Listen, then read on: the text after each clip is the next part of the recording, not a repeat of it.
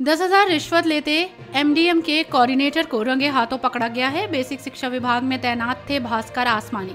विभाग में एमडीएम में गड़बड़ी के नाम पर कर्मचारियों का उत्पीड़न करते थे। पीड़ित द्वारा कई बार अधिकारियों से शिकायत की गई। यहाँ आपको बता दें कि पीड़ित का कई महीनों से वेतन वृद्धि रोक रखा था। त्रस्त होकर पीड़ित ने एंटी करप्शन में शिकायत की है। टीम ने योजना बनाकर दस हज़ार की घूस लेते हुए उन्हें पकड़ा है। रिश्वत को डीसी को गिरफ़्तार कर जेल भेज दिया गया है। मामला बेसिक शिक्षा कार्यालय का है।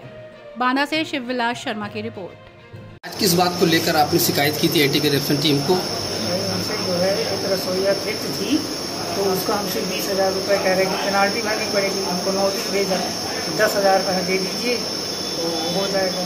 कितने समय से परेशान कर रहे थे ये? मैं तो दो साल से परेशान ये तो अभी दस दिन की बात अच्छा दो साल से परेशान है लगातार? बेसिक ऑफ़िस से। हाँ। अभी मेरा जो है चयन वेतनमान रुका है महँगाई रुकी है और बोनस रुका है। अच्छा। में मुकदमा चल रहा है। इनको रिश्वत कितनी दी थी? इनको हमें दस हज़ार। दस हज़ार रुपये एंटी करप्शन में आपने शिकायत कब की थी?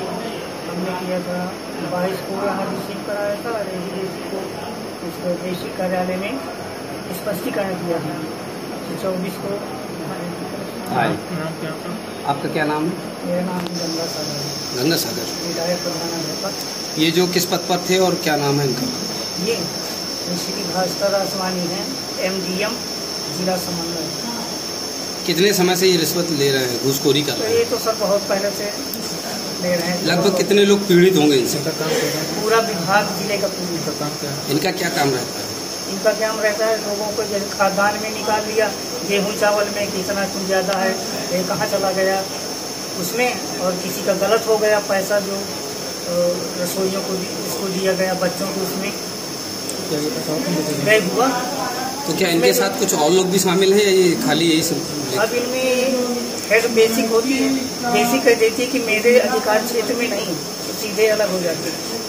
अच्छा तो ये काफ़ी दिन से कर रहे हैं। कितने लोग अभी तक पीड़ित होंगे इनसे? बहुत कोई संख्या नहीं। एक बार हमसे और ले चुका है।